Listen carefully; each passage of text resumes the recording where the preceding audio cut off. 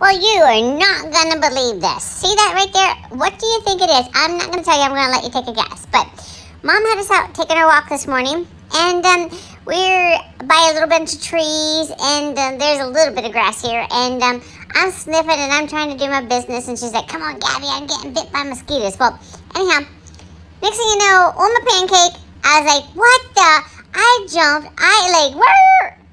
And mom turned around and she's like, what the heck is, and I'm like, what is that? And Willow, she's all over. She's like, let me have it, let me have it, let me see. It is a muffin. Folks, it is a muffin. It fell out of the tree. No, it didn't fall out of the tree. We looked up and guess what? There's a bird. There is a, some kind of scavenger big bird there. And he had this in his mouth and he dropped it. And wouldn't you know, it dropped and it fell on my pancake. I'm like, hey, it, it, it's a muffin. Let me eat it. Mom's like, you're not going to eat that. That's dirty. I'm like, five seconds. First of all, the bird had it in its mouth. If the bird can eat it, I can eat it. But she wouldn't let us. She's like, leave it, girls, leave it. A muffin was thrown out of a tree by a bird and hit me in the pancake. I need my pancake protector even on vacation.